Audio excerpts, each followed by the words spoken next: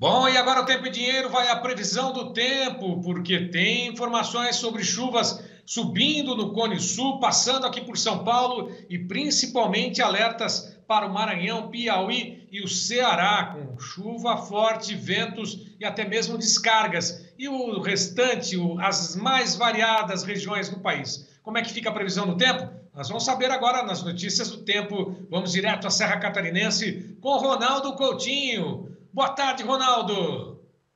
Boa tarde, Sérgio. Não deixe de acompanhar o nosso canal do Tempo. Peter Chá Ronaldo Coutinho, se inscrever. Aqui tem os diversos vídeos, esses dois últimos é a previsão até um pouco depois da metade de maio, Nordeste, Centro-Oeste, Sul e Sudeste. E também aqui na comunidade tem uma enquete aqui para a previsão de sábado. Por enquanto está ganhando novo. E aqui os nossos canais parceiros, dentre eles o Tempo e Dinheiro, onde o pessoal também pode acessar, dar o like, compartilhar e ajudar o canal a crescer, o Tempo e Dinheiro e o nosso. Então vamos agora ao nosso tempo que o tempo tem. Estamos aqui ó, com o tempo é, nessa parte aqui do estado, deixa eu ver aqui, do estado não, do país. Nós temos aqui ó, cinco dias, do dia 4 ao dia 8, ou seja, agora de terça-feira até, até sábado, deixa eu ver, é, até sábado. Então nós temos o quê?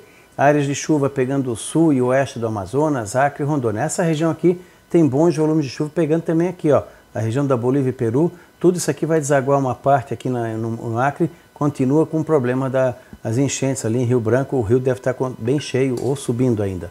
Aqui também tem chuvas, aqui no, no centro-noroeste do Mato Grosso, também pancadas de chuva, mais a metade, né? a metade oeste do Mato Grosso, pancadas de chuva na semana e pancadas mais isoladas aqui, ó, no centro, em direção à divisa com, com Goiás e a divisa sul com Tocantins.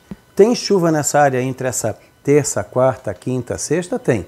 Mas não é chuva direto. É manga. Uma pancada aqui, uma pancada lá. Alguns podem passar até os cinco dias sem chuva, principalmente dentro dessa área verde aqui. No Mato Grosso do Sul a chuva vai voltar, principalmente na quinta, sexta e fim de semana, especialmente aqui. Ó. Então vamos ter chuva aqui no oeste, pode ter alguma coisinha amanhã. E especialmente na sexta, quinta, sexta e fim de semana teremos pancadas isoladas aqui no Mato Grosso do Sul. No Paraguai também está indicando finalmente alguma chuva que o pessoal está pedindo bastante. Essa região aqui, ó, principalmente amanhã já alguma coisinha e mais ainda na quinta, sexta e fim de semana. Centro-norte da, norte da Argentina também, norte de Santa Fé, Santiago do Esteiro, é, Chaco, Formosa e Salta e toda essa área aqui. Pegando aqui no sul, onde tem chuva também mais espalhada. O sul a gente fala com detalhe mais lá na frente, mas já dá para dizer que o milho safrinha aqui do Paraná deve receber chuva entre essa quinta e sexta. E o litoral também, alguma chuva forte no feriado de Páscoa. Em São Paulo nós temos o quê? Pancadas de chuva, principalmente quando for chegando o fim da semana. E pode ter alguma chuva forte aqui, ó, na parte sul de São Paulo, principalmente divisa com o Paraná. Então, o feriadão de Páscoa também está indicando chuva e períodos melhores em São Paulo, principalmente fim de semana. Goiás também pancadas isoladas de chuva, especialmente aqui na divisa com Mato Grosso Sul, divisa com Minas, e aqui o Triângulo Mineiro. Minas Gerais, como toda a chuva está voltando. Nesse começo de, de abril vai começando pancadas, primeiro mais isoladas, depois vai se espalhando e vai trazer um benefício grande para o pessoal que está precisando, seja café, seja soja, seja milho safrinha, milho forragem, especialmente nessa região aqui, ó, entre o sul de Minas e o Triângulo Mineiro. Algumas chuvas também começam a aparecer na Mata Mineira e também no Café do Espírito Santo. Então, ao longo dessa semana vai melhorando lentamente. Alguns ainda demoram um pouco, outros vai avançando um pouco mais rápido. O norte de Minas também, o noroeste de Minas e nordeste e leste do, de Goiás, pega Goiânia e Brasília. O Rio de Janeiro, pouca chuva, São Paulo, alguma pancada forte. Quando a gente vem aqui para a Bahia, nós temos o quê? Algumas pancadas aqui no oeste da Bahia, no litoral também, até aqui a parte norte da Bahia, pancadas isoladas e até nessa região central. Aqui as chuvas bem irregulares, num canto pode chover bem, no outro não. Aqui na todo o litoral do Nordeste, desde Salvador até Natal, eventualmente alguma chuva forte pontual não se descarta. A chuva também na Cealba, principalmente a metade leste. No Alto Sertão a chuva é mais irregular. Pernambuco também tem chuvas irregulares, mas está pancadas, eventualmente alguma pancada forte, principalmente o leste.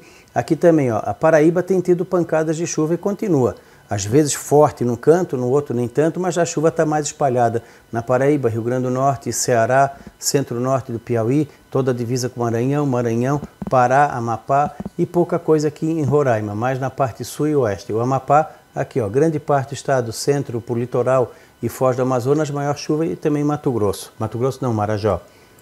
Vamos ver se a gente pega alguma aqui, imagem. Aqui tem aqui, ó, vamos pegar uma imagem. Vamos ver aqui se dá para diminuir, dá. Ó, tem chuva aqui na Argentina, entre Argentina e Uruguai, mais para Argentina. Aqui, ó, em Ribeirão Preto, alguma coisinha de chuva franca, Passos, São Gotardo, Três Marias, aqui João Pinheiro, é, Carmo do Parnaíba, Paranaíba. Então está começando a formar alguma coisa aqui na, na, parte do café do Triângulo Mineiro, ainda bem tênue. Aqui Três Marias também, João Pinheiro, vai chegando aqui ó, perto de Brasília, Formosa, noroeste de Minas. Alguma coisinha aqui ó, no sudoeste da Bahia também está tendo chuva, Coribe, já teve em Cocos, Carinhanha, Marraqueiro, Santa Maria da Vitória. Pega aqui também no Recôncavo Baiano, no litoral aqui da norte da Bahia. Enfim, pancadas de chuva nessa região aqui também, pegando aqui ó, na região da selva, entre Sergipe e Alagoas. Aqui também ó, na região leste de Pernambuco, já choveu em Caruaru, Taquaratinga do Norte, Palmares. Também aqui no leste da Paraíba, aqui a região de Campina Grande, Aroeiras. Também lá no, no, no Rio Grande do Norte, aqui também no Ceará. Enfim, está tendo pancadas de chuva. A gente vê também pela imagem é, do satélite ali do Nordeste, onde tem o que? Ó, áreas de chuva se formando aqui no centro-norte e noroeste do Ceará, Elefantinho, leste da Paraíba, algumas áreas aqui da Cealba, alguns pontos aqui da Bahia, sul do Piauí e Maranhão. Está começando a crescer os pontos de chuva. Quando a gente vem aqui para 10 dias, nós temos o quê? Aqui, ó, no Amazonas, bom volume de chuva, melhora aqui no sul e oeste de Roraima, pouca coisa na capital. Em todo o Pará melhora, Amapá, chuva aqui na região do arroz e soja no norte, no litoral sul do Pará. Boa chuva no Acre, Rondônia, melhora, espalha um pouco mais a chuva no Mato Grosso, então vai indo muito bem o milho safrinha, vai bem aqui na região é, do, do, Tocantins, alguns pontuais fortes de chuva, tanto hoje quanto nos próximos dias. Melhora em Goiás, melhora aqui no Mato Grosso, também aqui no, no Pará, Paraguai, norte da Argentina, melhora no norte do Rio Grande do Sul, Santa Catarina, Paraná. Ó, aqui ó, entre o litoral sul de São Paulo, litoral do Paraná e Santa Catarina pode ter alguma chuva forte, mas ela é distribuída ao longo dos 4, 5, 6 dias próximos, principalmente agora na Semana Santa. Semana que vem é um pouco mais seco. Melhora em toda Minas Gerais, café do Cerrado Goiano, Mineiro, café em São Paulo, sul de Minas, Mata Mineira e Espírito Santo à medida que avança o mês de abril, melhora bastante. Infelizmente, no Nordeste continua aquela irregularidade, né? Ora ele é melhor, ora ele piora, mas sempre com pouca chuva nessa área central da Bahia. Mais chuva no litoral, melhora um pouquinho no extremo oeste e oeste da Bahia, divisa com Piauí. Torcer para alguns pontos aqui dessa área central da Bahia, alguma chuva forte pontual. Boa chuva no, no Maranhão, boa chuva no centro-norte do Piauí, Ceará, Rio Grande do Norte, Paraíba, melhora um pouco mais no Piauí e um pouco mais na Cealba. Tirando assim essa parte central da Bahia, grande parte do Nordeste está bem. Pará também e aqui na região sul de Roraima. Quando a gente pega 15 dias, também, ó, boa chuva nessa faixa aqui do país. Ó. Pega o Elefantinho, Ceará, Centro-Norte Piauí, Centro-Norte Maranhão, boa parte do Pará, Amazonas e Acre. Aqui fica ruim por causa da, das cheias. Rondônia também, uma boa chuva nesses 15 dias no Mato Grosso, excelente para o milho safrinha, Tocantins, Goiás, Mato Grosso do Sul, melhor em todo o Sudeste, até mesmo em Minas Gerais, um pouquinho menos aqui no centro-norte de Minas. Só essa aqui, ó, de todo o país onde menos chove, infelizmente, é nessas áreas da Bahia, em cima da Chapada. A região de Irecê pode ter algumas pancadas isoladas, o Cisal e a região norte e nordeste da Bahia também. Já o litoral, chuva até forte pontual. E principalmente aqui, continua com chuva forte, embora não muito acima da média. Aqui no sul, também a chuva continua boa, da metade do Rio Grande do Sul para cima, norte da Argentina e Paraguai. Quando a gente tiver anomalia, boa chuva aqui mais abaixo do normal. Aqui acima, toda essa faixa oeste do Brasil, indo até norte do Rio Grande do Sul, Santa Catarina e Paraná, boa chuva. Boa chuva no Paraguai, norte da Argentina, Bolívia e abaixo da média aqui entre Uruguai, nordeste da Argentina e centro-sul e oeste do Rio Grande do Sul. Mas tem chuva, não é ruim. Todo o sudeste com uma situação boa, tirando o Rio de Janeiro, onde pode ter pouca chuva. Melhora em toda a área do café, Espírito Santo, Minas, São Paulo, sul de Minas, Triângulo Mineiro e Cerrado e até alguma coisinha aqui também na região da Bahia. Tu vê que aqui continua acima da média. Por que, que diminuiu a anomalia? Porque a, a, a média de chuva é relativamente alta então a anomalia diminui um pouco. Quando a anomalia é alta, nem sempre quer dizer muita chuva. Às vezes é porque a média é baixa, vamos dizer que a média seja 20, vai chover 80, é bem acima. A média é 80, vai chover 120, não é tão acima, então tem essas diferenças também. A Bahia é que mais sofre nesse ano, pouca chuva ou chuva bem irregular. Aqui a chuva começa a diminuir, que é o normal nessa época do ano. E aqui fica a chuva acima do normal. Quando a gente pega aqui de 10 em 10 dias, olha a diferença. Até o dia 13, abaixo do normal aqui no norte do Brasil, toda a parte oeste acima, principalmente Paraguai e norte da Argentina, norte do Rio Grande do Sul, Santa Catarina, Paraná acima, todo o sudeste, tirando o Rio de Janeiro. O nordeste, nos próximos duas semanas, ou duas, próxima semana, 10 dias, é bom em toda a região, tirando essa área central da Bahia. Já não chove muito, é um pouco abaixo da média. E quando chega do, de 9 e 18, diminui a anomalia negativa aqui, começa a secar aqui, que é normal, vai estar entrando já para maio, logo logo, e aqui no sul diminui um pouco a chuva, avança a anomalia negativa para o Paraná, Santa Catarina, o Rio Grande do Sul ainda demora um pouquinho. E aqui no sudeste a chuva fica acima do normal em quase toda a região, melhorando o pessoal do café, cana-de-açúcar, pessoal de lavouras de milho, safrinha, milho, forragem, melhora no Rio de Janeiro. No nordeste diminui, ó. Está entrando um pequeno veranico, como vocês vão ver no 46 dias, em algumas áreas do Nordeste. Lá vocês têm uma, um complemento da previsão. E aqui nós temos aqui agora o Sul. Ó, tu vê aqui, ó, para os próximos cinco dias, boa chuva entre Santiago del Esteiro, Santa Fé, Chaco para cima, essa região norte da Argentina, Paraguai e um pedacinho da Bolívia. Toda a parte oeste da Argentina, pouca chuva, alguma coisinha aqui no Chile pouca chuva aqui no norte da Patagônia, sul de Buenos Aires. Então essa área aqui é pouca chuva. No Uruguai continua com pouca chuva, um pouco melhor no norte e noroeste. No Rio Grande do Sul, ó, tem chuva aqui nessa área do Rio Grande do Sul, mas não é muita, em cinco dias. A chuva melhor é aqui, ó, no centro-norte do Rio Grande, onde pode ter volumes bons. Aqui no litoral de Santa Catarina, não dá para descartar alguma chuva forte no período da Páscoa, principalmente aqui, entre o sul do Rio de São Paulo, litoral do Paraná, até a altura da Grande Florianópolis. Aqui pode ter alguns pontuais de chuva forte. O volume é até grande, mas em 4, 5 dias distribuído. É cuidado normal ali na Serra do Mar, nas encostas que estão mais fragilizadas.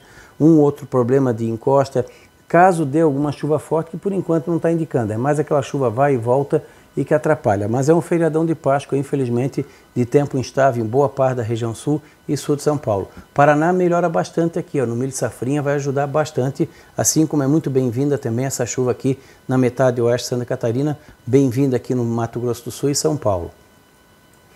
Em relação ao total de chuva, nós temos aqui, ó, que nem eu disse, ó, pode chover forte. Boa parte dessa chuva aqui vai vir entre essa quarta até domingo. E depois, talvez, lá pelo dia 14 ou 15. Então, uma boa parte dessa chuva, mas em 4, 5, 6 dias, isso ajuda bastante a não dar tanto problema.